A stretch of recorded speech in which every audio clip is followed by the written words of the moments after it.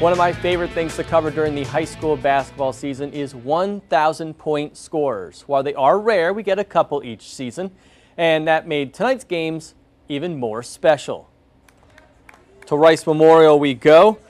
Green Knight star and junior Michel Ndayishimiye, just 26 points from 1,000 in his career. He would try to reach that mark against St. Johnsbury and at home.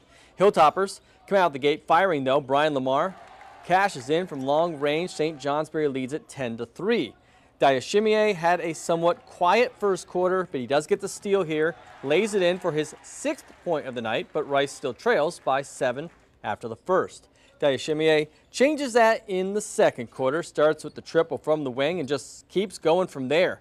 The Rice Memorial Star pours in 15 straight points in the quarter, 18 total with 24 points at halftime.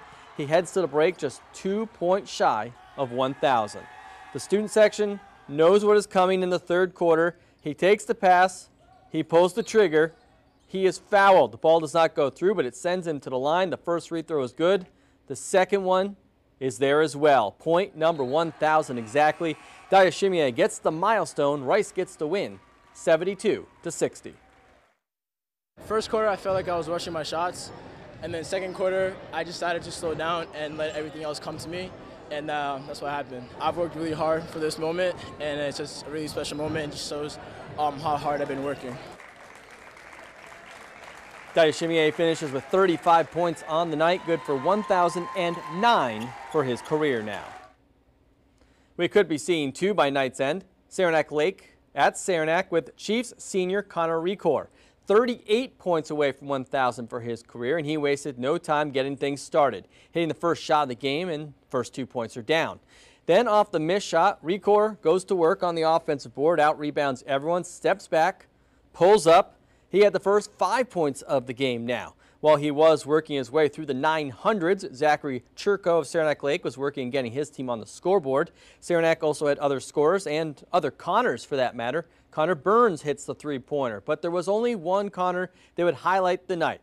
Closing seconds of the first quarter, he hits another three-pointer, gives him 19 points exactly halfway to 38 already.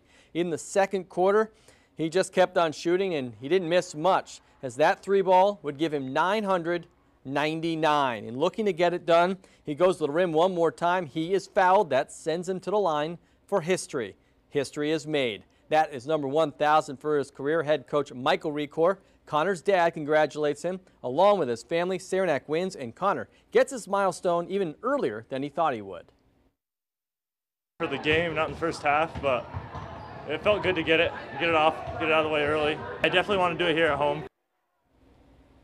And he does, scoring 44 total points in the Saranac Gym, now gives him 1,006 for his career.